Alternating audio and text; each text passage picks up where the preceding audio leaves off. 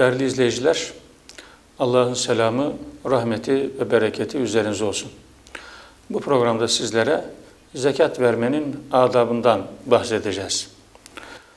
Değerli izleyiciler, her işin bir usulü, bir adabı vardır.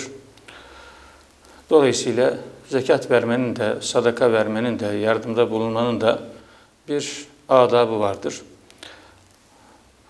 Bu adapla ilgili konulardan bazılarına ayet kerimelerde, bazılarına ise hadis-i şeriflerde yer verilmiştir. Şimdi bunlardan önemli olanları üzerinde duralım.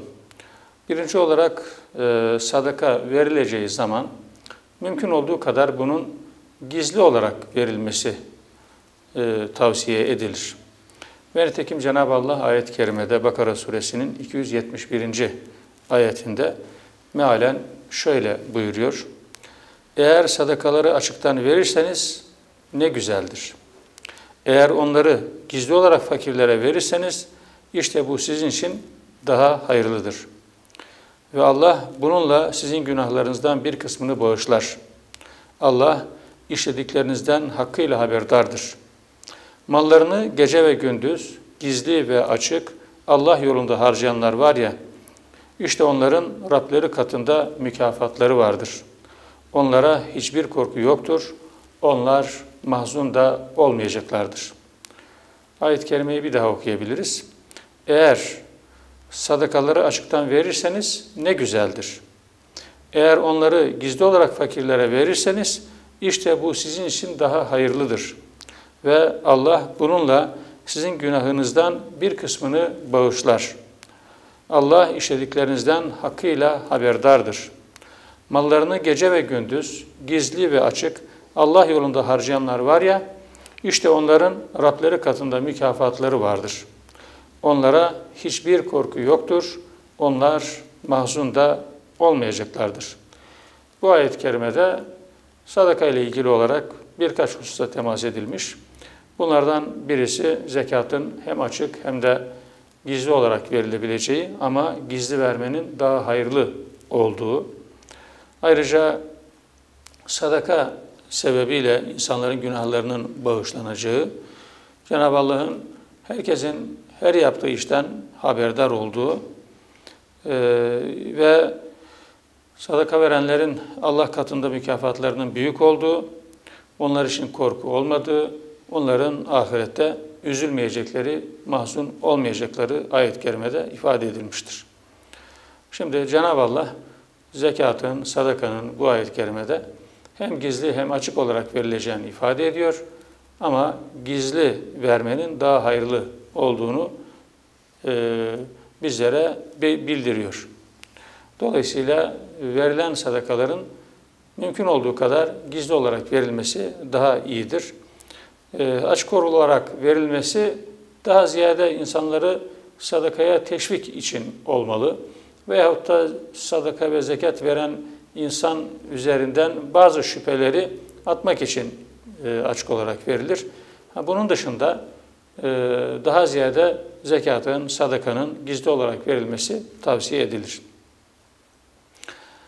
E, Abdullah bin Ömer, Peygamber Efendimiz sallallahu aleyhi ve sellemin şöyle dediğini rivayet ediyor. Gizli aşikareden eftaldir. Gizli sadaka vermek, açık sadaka vermekten daha faziletlidir. Ancak örnek olmayı ümit ederse aşikarelik gizliden eftaldir. Ancak örnek olmayı ümit ederse aşikarelik gizliden eftaldir. Bu hadis Delemi tarafından rivayet edilmiştir.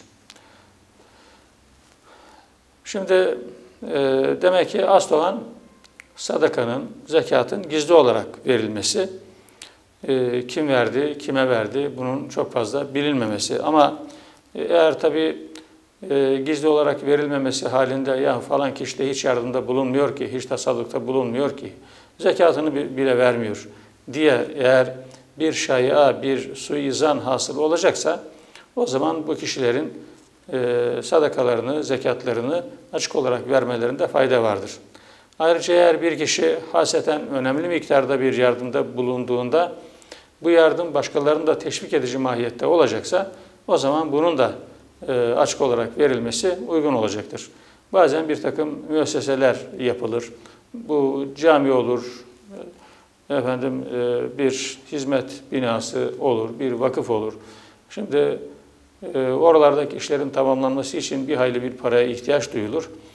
E, eğer birisi önemli miktarda bir para bağışladığında diğerleri için bu örnek olacaksa o zaman bu tür bağışların açık olarak yapılmasında fayda vardır. Çünkü bu gibi önemli müesseseler tek bir kişinin bağışıyla kolay kolay bitecek ve olacak cinsten değil. E, mutlaka işte e, bak falan kişi sadaka verdi, zekat verdi, tasaddukta bulundu. Ben de en az onun kadar zenginim, benim de en az onun kadar hayra ihtiyacım var. E, madem o böyle bir tasaddukta bulundu, ben de bulunayım.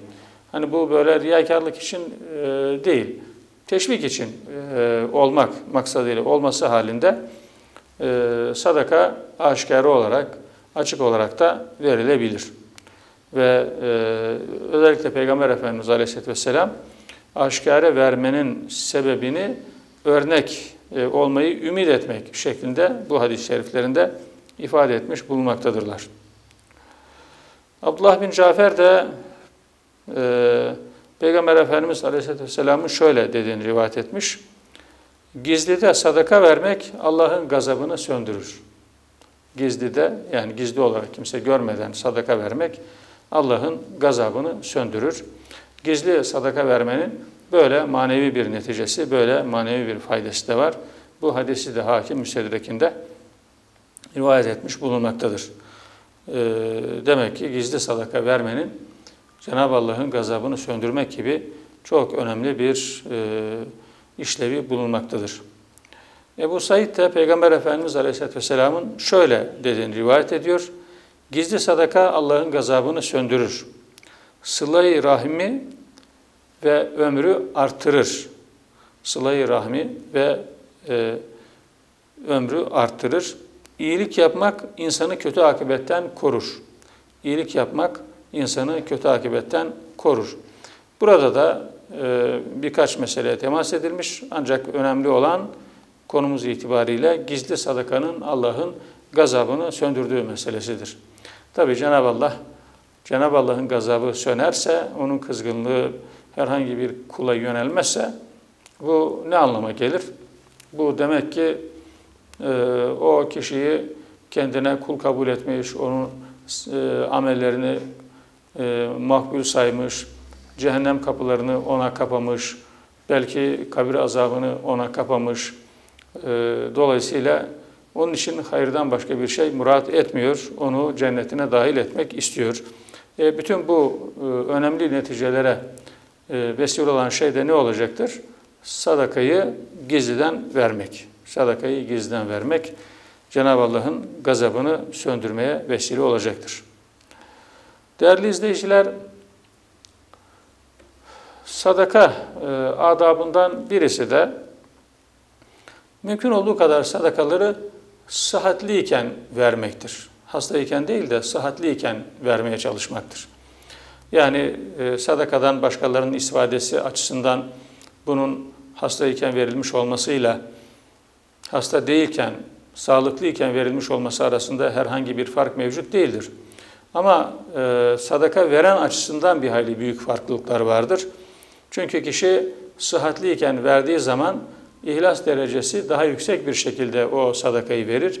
Ama kişi hasta olarak verdiği zaman biraz da ölüm korkusuyla, biraz da e, artık bundan sonra malının bir nevi hayrını, iyiliğini görmeyeceği kanaatiyle e, tasaddukta bulunmaya çalışır ki elbette e, iki farklı durumda, bu iki farklı durumda tasaddukta bulunmak fevkalade farklılık arz eder. Niyet bakımından, ihlas bakımından, samimiyet bakımından. Bu bakımdan e, mümkün olduğu kadar e, tasadduku, sadakayı sıhhatliyken vermeye çalışmak gerekiyor. Ebu Hureyre radıyallahu anh şöyle anlatıyor. Diyor ki birisi sordu. Hangi sadaka sevap bakımından daha hayırlıdır? Tabii kime soruyor? Peygamber Efendimiz sallallahu aleyhi ve selleme soruyor. Hangi sadaka sevap bakımından daha hayırlıdır. Resulullah Efendimiz Aleyhisselatü Vesselam da buyuruyor ki, sen genç, sıhhatli, paraya kıyamazken paranın yoksulluğundan fakirliğe düşeceğin düşeceğinden korktuğun zaman ölümü hiç düşünmediğin zaman verdiğin sadaka sevap bakımından daha büyüktür. Burada e, birkaç mesele sayıldı.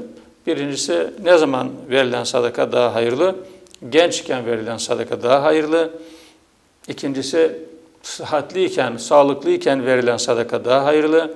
Üçüncüsü bir nevi paraya kıyamazken, parayı böyle kolay kolay harcayamazken verilen sadaka daha kıymetli. Dördüncüsü paranın yoksulluğundan, fakirliğe düşeceğinden korktuğun, paranın yokluğundan, fakirliğe düşeceğinden korktuğun zaman. Yani bir kişi elinde bir miktar para var ve ben de bunu verirsem o takdirde fakir düşerim, muhtaç düşerim, başkasının ellerine bakarım şeklinde bir korku söz konusu ise işte böyle bir korkunun hakim olduğu zamanda tasaddukta bulunmak daha sevaplı bir iştir. Ve bir de ölümü hiç düşünmediğin zaman verdiğin sadaka. Ölümü hiç düşünmediğin zaman. Yani insan ölümü ne zaman düşünmez? İşte insan ölümü e, sağlıklıdır, gençtir, parası vardır, hasta değildir, sıhhatlidir, e, işi vardır, mesleği vardır, e, sahip olduğu işi ve mesleğinden dolayı iyi para kazanmaktadır. İş ve mesleğinin de kısa zaman içerisinde yok olacağı kanaatinde değildir. O mesleğinden daha çok para yiyeceği kanaatindedir. Dolayısıyla e, ölümü bu sebeple hiç düşünmez kişi. İşte böyle bir vaziyetteyken bir kişi sadaka verirse bunun sevabı daha büyük olacaktır. Bu hadisi de başta Buhari, Müslim, Ebu Davud, Nesai, Ahmet bin Hanbel gibi hemen bütün büyük İslam e, alimleri ve hadisçileri e, rivayet etmiş bulunuyorlar. Peygamber Efendimiz Aleyhisselatü Vesselam yine e, sıhhatli, sağlıklı iken zekat vermekle ilgili olarak şöyle buyurmuşlar. Ebu Hureyre radıyallahu anh Resulullah Efendimizin şöyle dediğini rivayet ediyor. Adamın sıhhatteyken verdiği bir dirhem sadaka, yani bir kişinin, adamın dediği bir kişinin sağlıklı iken verdiği bir dirhem sadaka, ölüm üzerine köle azat etmesinden daha hayırlıdır. Ölüm üzerine köle azat etmesinden daha hayırlıdır. Yani ölüm geldi, çattı, öleceğini anladı. Hani böyle bir durumda bir köle bile azat etmiş olsa, sağlıklıyken işte belki bir kölenin onda biri kadar bir değeri kıymeti olan bir parayı vermek daha hayırlı, sevapça daha faziletlidir. Demek ki değerli izleyiciler, e, sadakanın adabı konusunda dikkat etmemiz gereken meselelerden birisi de sadakayı mümkün olduğu kadar sağlıklıyken, genç iken e, ve ölüm korkusu gibi şeyler yok iken, e, ölümün kendimizden çok uzak olduğunu düşündüğüm bir zamanlarda vermektir. Değerli izleyiciler, sadakayı verme adabından birisi de bunu güzelce vermektir. Yani bir nevi bugünkü tabirle medenice vermektir. Ee, karşı tarafı incitmeyecek bir şekil ve suret içerisinde vermektir. Enes bin Malik radıyallahu anh hazretleri bu konuda Peygamber Efendimiz sallallahu aleyhi ve sellemin şöyle dediğini rivayet ediyor. Bir kul sadakayı güzel bir şekilde verirse Allah da varisleri arasında onu güzel bir şekilde istihlaf eder. Bir kul sadakayı güzel bir şekilde verirse Allah da varisleri arasında onu güzel bir şekilde istihlaf eder. Bu hadisi de İbn e, İbnül Mübarek ve Deylemi rivayet etmiş bulunuyorlar. Evet, sadakayı verirken dikkat edilmesi gereken hususlardan birisi de sadakayı güzel bir şekilde vermek. Tabi bu sadakayı güzel bir şekilde vermek nasıl olur? Ee, bir defa en azından yukarıdaki şartlara uygun bir şekilde vermek demek olur. Yani önce gizli olarak vermek, sonra sağlıklı iken vermek, gücü yerinde iken vermek, efendim işte ölüm korkusu gibi şeylerin olmadığı bir zamanda bunu vermek gerekiyor. Güzel bir şekilde vermek.